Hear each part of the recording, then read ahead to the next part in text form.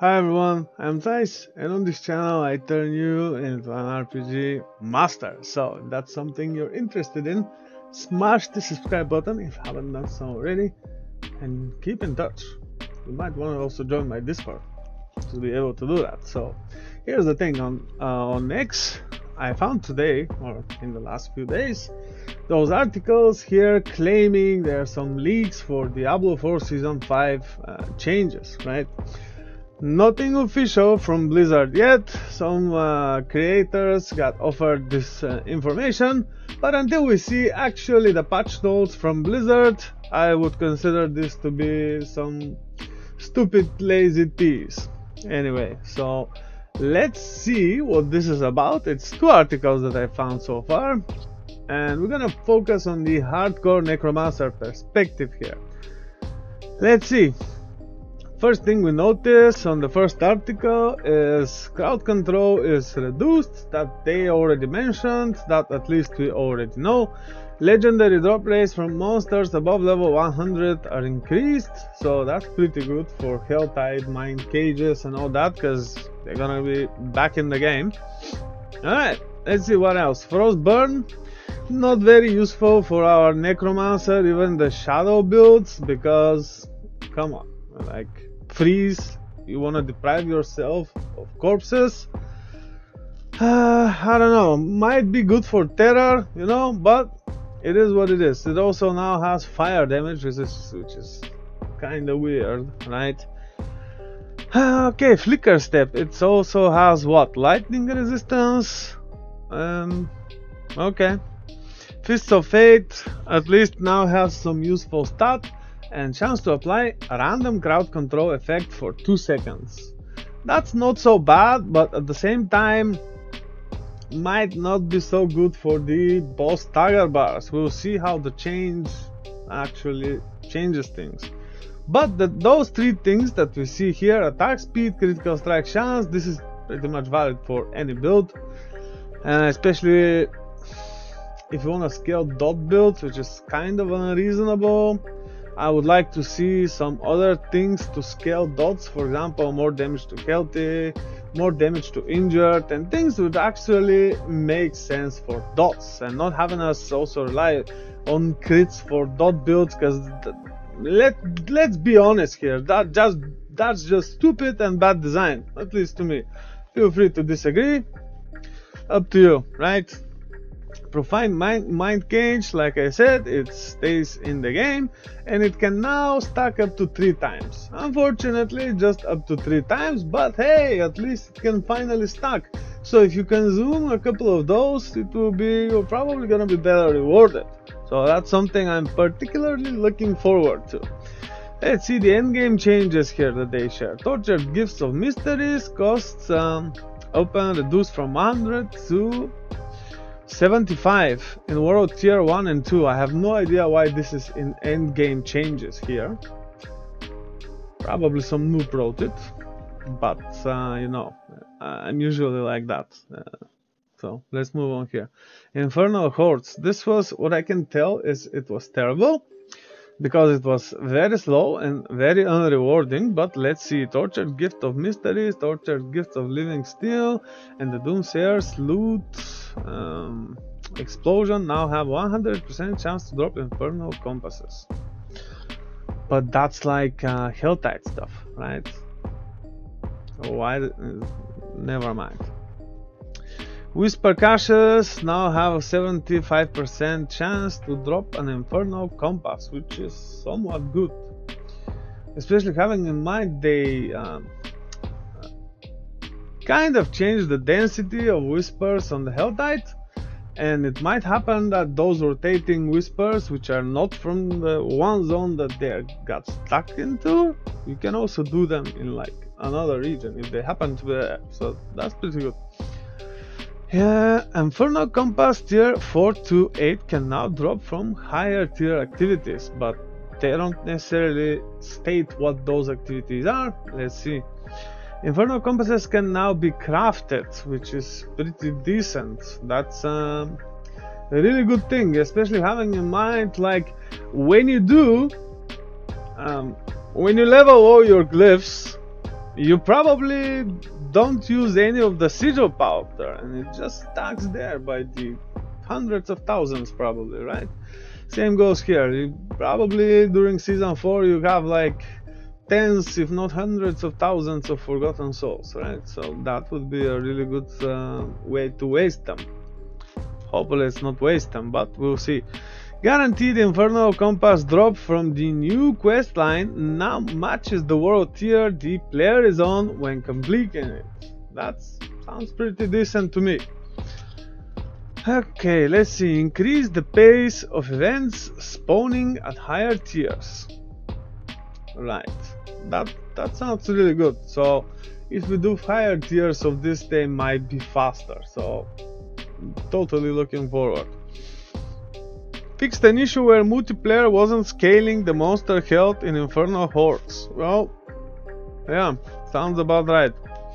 The council boss fight at the end of Infernal Hordes now awards Burning Aether. I believe they should do more changes, like give us more ether and um, make the ether actually persist during runs so we can uh, keep opening and opening and opening like what if we don't get enough and want to save it for to like open something else? Not force us to waste it so to say. Just like the baneful hearts they persist during hell tides across hell tides right? That would be pretty good if they do that. I'm gonna skip the barbarian here and i hope they just nurse it to the ground. And the druid hope it's better. We don't really care. Let's see this now. The necromancer skills it's uh, more lucky hit across the board so maybe they finally realized uh, how much it depends on it especially now that the ones will not provide lucky hit and they will provide vulnerable damage instead. So they are kind of nearly doubled is in some uh, places and maybe that's how they want to make up for it right? Because um, it's really dangerous to actually play with the focus on hardcore especially let's say after tier 70 or 80 on the pit. So that would totally make sense right? Let's see what else. Aspects aspect of the bur bursting bones which probably not many of you use me included but now it scales, scales with the path of Trag'Oul which is kind of weird because boots without uh, movement speed and metamorphosis, especially on hardcore, those are pretty much trash boots, right? Maybe they could work with Bone Spirit if you are noob enough to play it with Blood Mist, but totally not my thing if you get the idea. Let's see here. Uh, inexorable Reaper's aspect, they decrease the cooldown.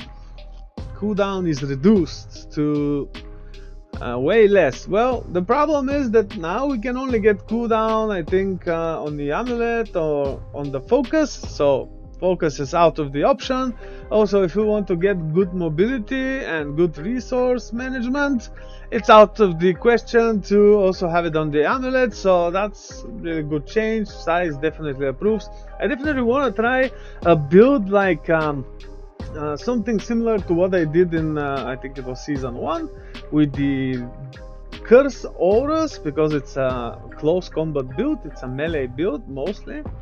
But now with this mobility thing it might be a thing we'll see. Because uh, the problem with this that I'm having is uh, like we do not have weapon swap. So when we want to use sever as a mobility skill to use the weapon uh, which we have to like provide this aspect although it's not an offensive aspect right? It's a mobility aspect. It can go on the boots on, on, on the amulet but not on a weapon. So it's kind of weird. But if we had this imagine uh, being able to swap between this and other offensive aspect like uh, use this to move.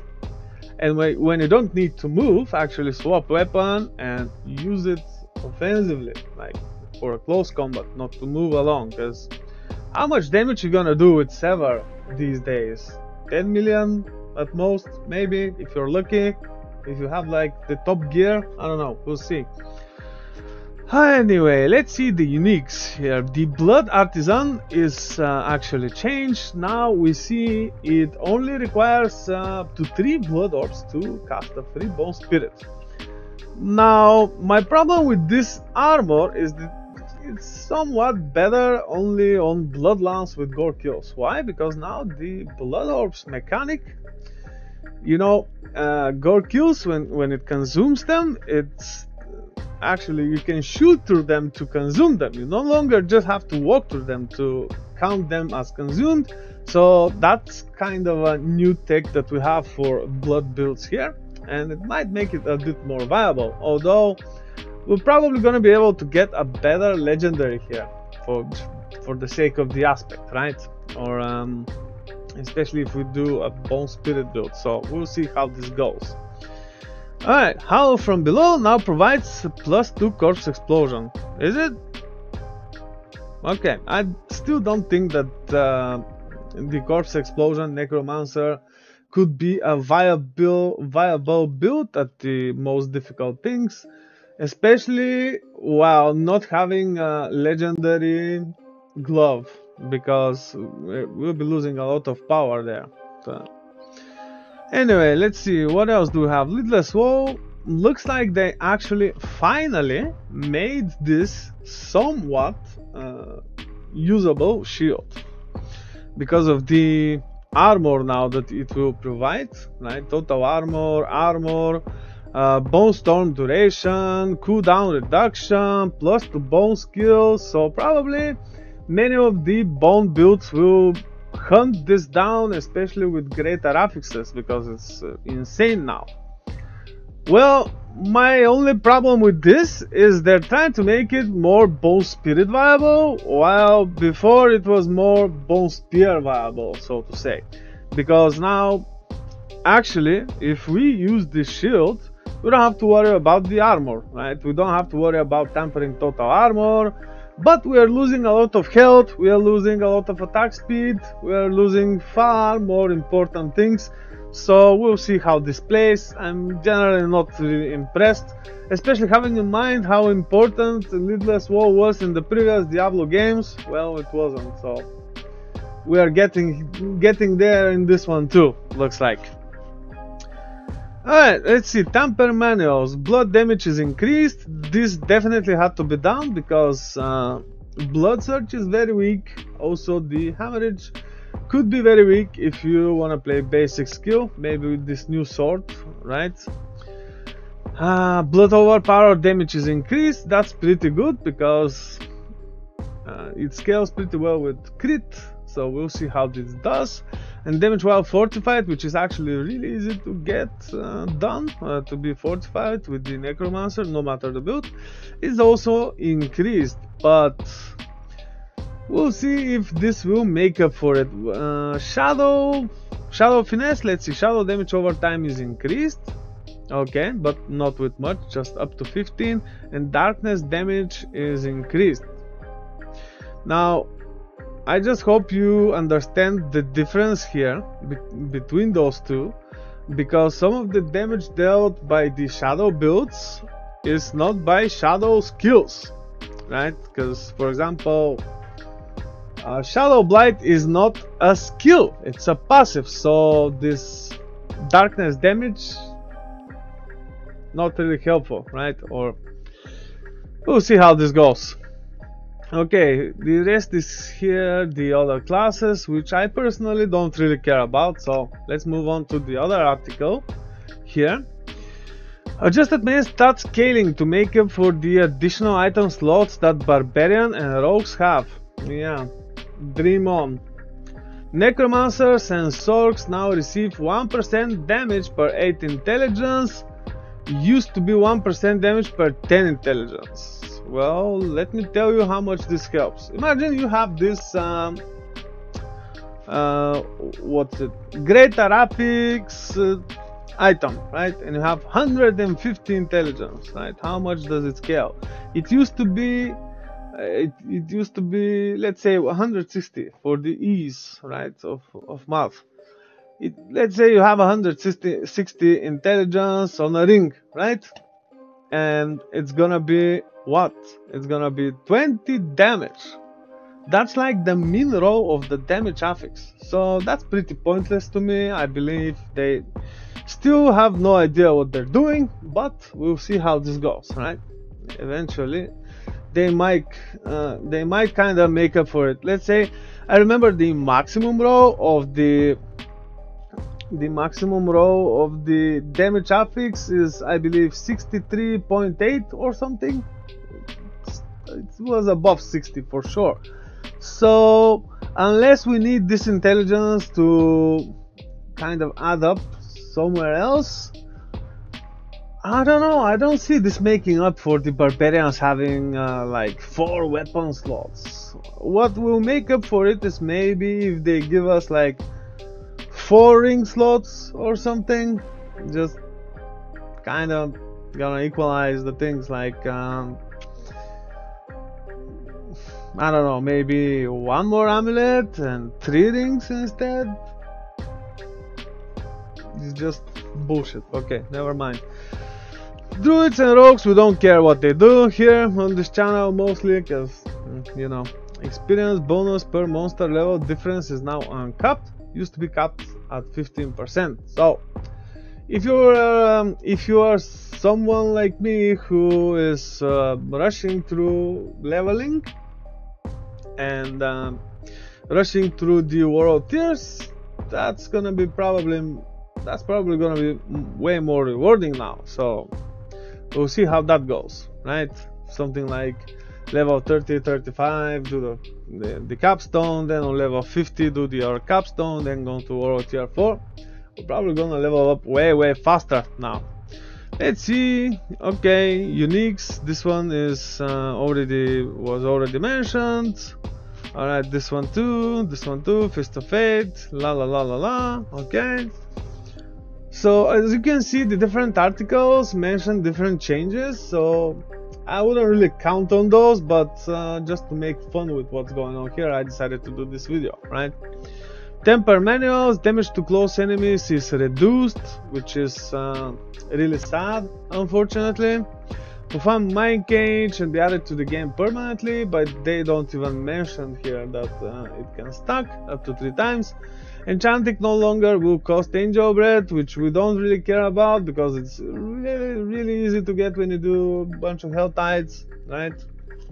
End game changes. The pit here, right? The stacking debuff that increases damage taken after getting hit by the pit boss abilities is going to remain right that's the tormented debuff right so hardcore folks beware i guess okay? Helltide. readjusted baneful heart drop rate. Whatever that means. They, they are always so specific you have to guess what they mean and it can mean like 500 times things right? Readjusted does that mean like um, the drop rates will be lower compared to season 5 higher compared to the ptr probably even god doesn't know right? Blood maiden now only requires two baneful hearts to be summoned in the world tier 1 and 2 that's actually pretty good. Okay let's see what else. Infernal horde significantly increased the rewards from Infernal hordes. Spoiler, uh, spoils or greater equipment chest cost open reduced from 250 to 60, which is kinda more viable now, right? Spoils of equipment from 25 to 20, spoils of materials from 25 to 20. They don't say if those actually provide better materials or actually any useful ones, because you probably don't want to do this event for like one hour and get something you can get in less than a minute during the hell tide. So what i'm probably gonna do is maybe just run a bunch of those to see if they are wasting my time too much with some like multi-target build. Gonna probably struggle on the boss but we'll see how this goes. Right but if it's a waste of time i'm just probably gonna spend like 10 hours a day on hell tide and bossing and stuff like that timer per wave is reduced which is pretty good but it's still too long I think. Increased amount of monsters per wave so that means we definitely need a really really really really strong multi-target build like blood surge and all the damage you can get everywhere. I think I, I read somewhere that they buffed the paragon boards like um, blood begets blood, right? And bloodbath, they're kind of doubled or something, so that shouldn't be a problem because they scale multiplicatively, and that's pretty good. Increased amount of monsters, okay, double all the burning ether drops. They should at least quadruple it, I believe. Pets can now pick up burning ether. I hope they also make them burn, uh, not burn, but pick up potions, right? Especially for those boss fights and all that. That's gonna be pretty decent, pretty good. Maybe they will do that, maybe not. Probably not. It's too good of a quality of life, right? Boss health on the PTR was bugged and was therefore decreased. Yeah, but uh, it was bugged to the point where you could simply go die to the boss and then you go to kill the boss again it was with uh, regular health well not very hardcore friendly isn't it well but i'm glad they fixed it because it was using maybe the old values from the old pit when it was like uh, too hard let's say pit 70 is now like uh, pit 110 something like this okay we're moving on here the new tiers 9 and 10 are coming to the mid-season patch. Um, I don't know. I'm not really generally very impressed with this because most of the builds are not that strong. I've seen many people complain on the forums or in comments and stuff like that that they even had problems completing season 4, which I already did, and that's why I'm actually not playing in the last two weeks or so because uh, I don't really have much to do. I made like so many builds and videos about them. I completed the season, killed the bosses, farmed everything, so why bother? I might want to get back to it. Let me know in the comments if you want to see me play more. Anyway, let's see. Skipping this, hope they nerfed it. They nerfed it. Did they nerf it? Okay, damage reduced. Damage. Okay, they nerfed it. That's pretty good. Anyway, no need to check anything else on this guy. Druid, Druid. Paragon. Let's see, Necromancer. Lucky hit chance most skills is increased by, yeah, very specific. Example, sever blah blah blah, explosion can now trigger lucky hit effects on the decompose uh, skill. Okay, aspects. Right, we already mentioned this, mentioned it, Paragon. Okay, overpowered damage on Bloodbath is increased from 35% to 70 and it's multiplicative so that's pretty good for those weak blood builds like blood surge and maybe somewhat blood lance i haven't seen it do like more than 50 million damage or something so definitely looking forward to that but my problem with lance is it's supposed to be played with a focus so it's kind of a fragile build we'll see how this goes Blood begets blood. Okay, damage of the blood orbs is increased. That's pretty good. And damage cap is increased from 30 to 50. Okay.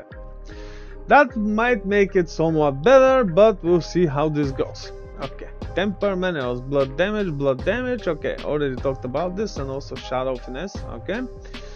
Uh, some other classes, other classes, and I guess that's it, folks. So, I hope it, this was um, somewhat funny and interesting. Those are the things that I managed to, to find. If you haven't seen them already, so hope you enjoyed those comments. You can let me know what you think about those elite, uh, like those changes that are supposed to be uh, coming, like allegedly or whatever you want to call it, to the game. But remember this: until we see the final patch notes, I wouldn't really trust any of this.